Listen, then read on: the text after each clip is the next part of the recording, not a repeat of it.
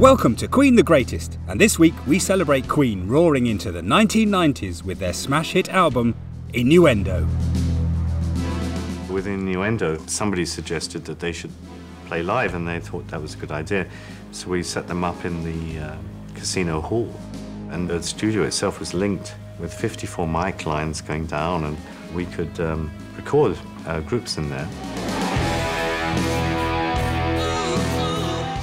They actually created a song live by improvising until it became a song. And that's how it started. While the sun hangs in the sky and the desert has sand.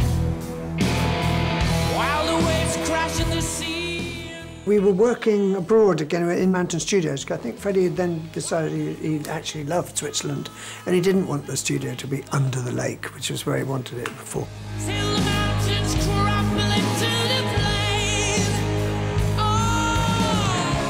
There's some very good stuff on Innuendo, and it was quite live as well. And a, I think a bigger studio is good for us. You can be anything you want to be.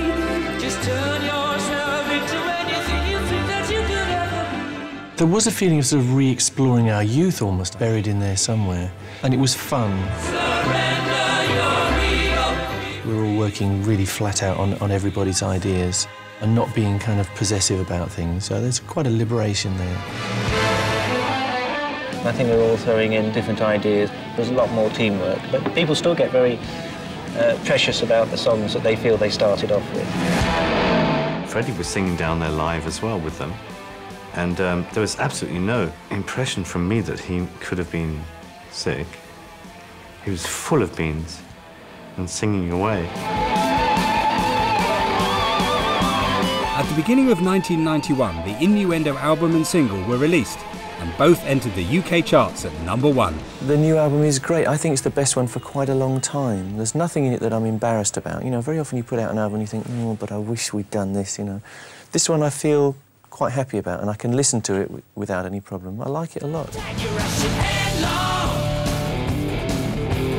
Headlong. Yeah, you think it's so strong. But there ain't no stopping, and there's nothing you, nothing you, can do about it at all.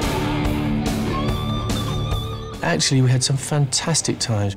I think we got over our stupid, you know, going out the whole time business, you know.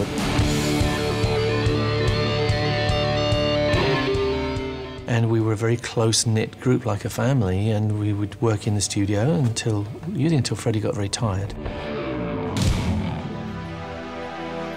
Empty spaces, what are we living for? Abandoned places, I guess we know the score. I did a complete demo for The Show Must Go On, including that very high part, you know, on with the show. And I said to Freddie, because Freddie always used to say, oh, Brian, you're making me tear my throat to bits again. You know, so I, I, I remember apologising in advance. I said, look, I said, I've done this in falsetto. I don't know if it's possible to do it full voice, you know, but obviously that would be great. And he went, oh, for God's sake, you know. And he said, roll the tape, a couple of vodkas, and he went for that line, um, which is outstanding, you know, to, for him to reach those notes. Um, he's reaching heights he's never done before. He's, just finding the energy from somewhere. And the voice on the show must go on is incredible. Uh, I've never heard anybody sing like that in my whole life. And um, he rose to every challenge and seemed to reach heights that he never even reached before. I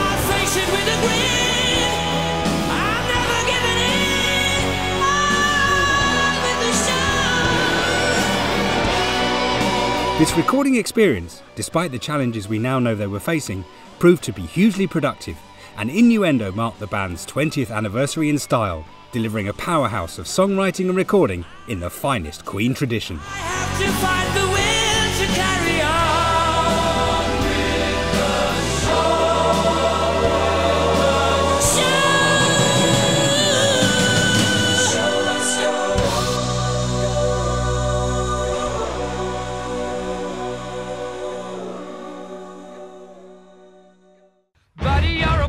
Make a big noise playing in the street. Gonna be a big man someday. You got mud on your face, you big disgrace. Kicking your can all over the place, singing, We